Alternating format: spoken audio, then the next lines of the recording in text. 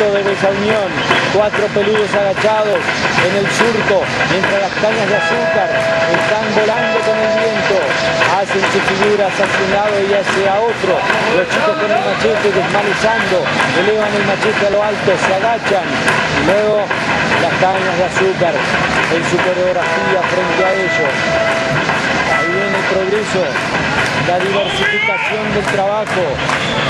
más allá del azúcar, el biocombustible que nace aquí en nuestro desayuno para todo el Uruguay, para toda la región, esa capacidad que ha tenido el norte uruguayo, que lo está representando en estos momentos, Escuela de Samba Irupé, la verde y blanco en la avenida.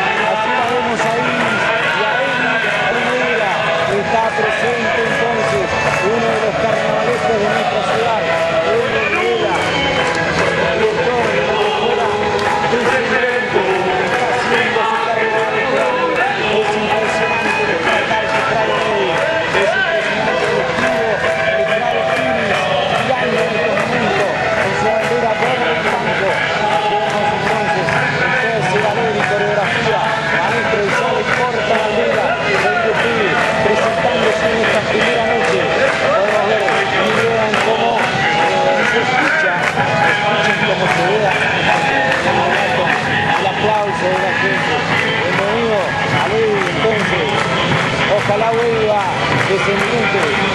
pero aquí está presente parte de él entonces, de esa comparsa de San